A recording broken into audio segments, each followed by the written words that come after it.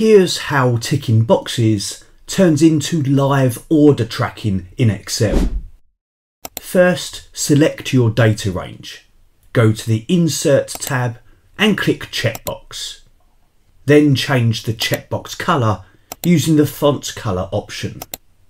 Now, in the Progress column, enter this formula. Rept builds the bar based on checked boxes. Sum counts them, times 2 makes the bar longer, if adds 100% when all boxes are checked.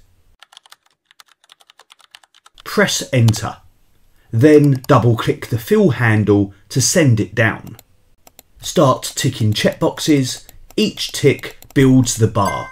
Check them all and it shows 100%. No more boring checklists, turn them into visual progress bars. Like and subscribe.